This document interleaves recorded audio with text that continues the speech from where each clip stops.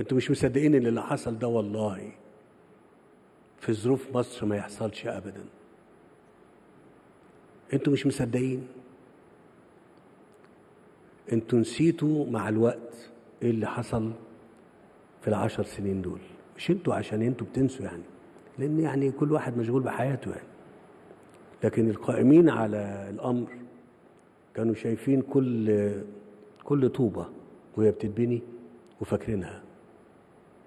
وكل مصنع بس تفتكروا إن هو ممكن تتحل الأزمة أو تتحل وتبقى بلد تاخد مكانها وسط الأمم في عشر سنين؟ طب أنا اقولي لل للمفكرين والمثقفين ورجال الإعلام إن الدول بتاخد 75 سنة عشان تبقى دول ذات شأن؟ أقول إيه؟ ده الكلام ده موجود مش محتاج حد يعني يعني مش أسرار دي دول موجودة دلوقتي على على الدنيا عاشت سنين. طبعا لما بقول كده مش معنى ده إن أنا يعني بتمنى ذلك يعني. لا في دول عاشت سنين ما أقدرش أذكرها ما يصحش. عاشت في مجاعات كان بيفقد كل سنة من 3.5 ل 4 مليون من 52 ل 68 45 مليون.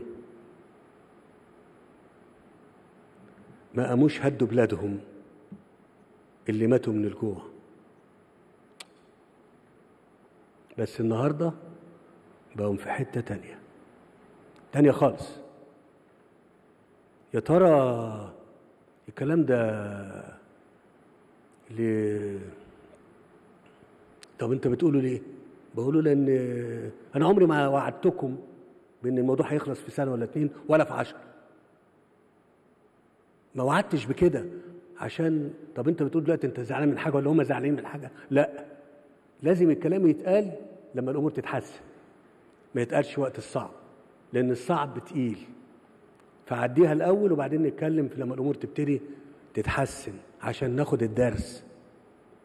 عشان ناخد الدرس مش عشان حاجة تانية ونتعلم وتبقى ذخيرة للقادم.